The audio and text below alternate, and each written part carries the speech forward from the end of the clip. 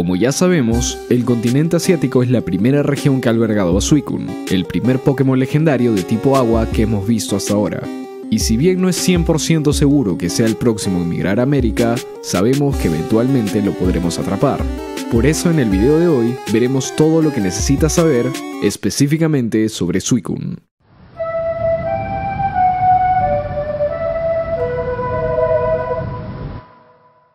Antes de comenzar con el video quisiéramos saber, ¿Cuál es tu Pokémon favorito de la tercera generación y por qué? Y como seguidor destacado tenemos a Steven Fuentes. Muchas gracias por seguirnos. Recuerda que si quieres ser un seguidor destacado, solo tienes que compartir este video y dejarnos un comentario. Ya que todos los Pokémon contrarrestantes son la forma más efectiva de derrotar y capturar a un Pokémon, hemos creado una pequeña lista con los 6 mejores Pokémon necesarios para derrotar a Suicune. Empezando con el tipo eléctrico tenemos Raikou, con Impact Trueno y Voltio Cruel.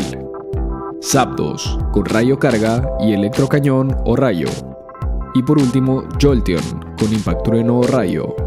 Con los Pokémon de tipo planta la situación es diferente. Cualquier Pokémon de tipo planta que tenga rayo solar servirá contra Suicune, pero en especial los siguientes, Executor y Venusaur. Pero aún así, una sexta y última opción viable también es Mewtwo. Algo importante que debemos mencionar es que es bastante probable que Suicune tenga poder oculto, lo cual significa que podría tener un ataque de cualquier tipo, excepto normal y hada, los cuales son 16 tipos de ataque disponibles para Suicune. Por esta razón, asegúrate de verificar qué tipo de daño realiza el poder oculto de aquel Suicune antes de continuar con la pelea, esto se puede hacer simplemente observando contra qué Pokémon inflige daño súper efectivo, para que así puedas descartar a estos tipos de Pokémon y sigas batallando con otros. Existe también una forma exacta de saber el tipo de ataque de un Pokémon contra el que estás batallando, pero necesitaríamos realizar un video hablando específicamente de este tema si queremos explicarlo realmente bien. Cuéntanos en los comentarios si te gustaría que hagamos uno. Aún así, si tu grupo es lo suficientemente grande, saber el tipo de poder oculto de Suicune no será un factor determinante a la hora de enfrentarlo, pero un factor que sí es necesario saber es su ratio de captura. Si no utilizamos ninguna valla, la Pokébola que lanzamos no es curva y el tiro es normal, solo tendríamos un 2% de chances de atrapar a Suicune.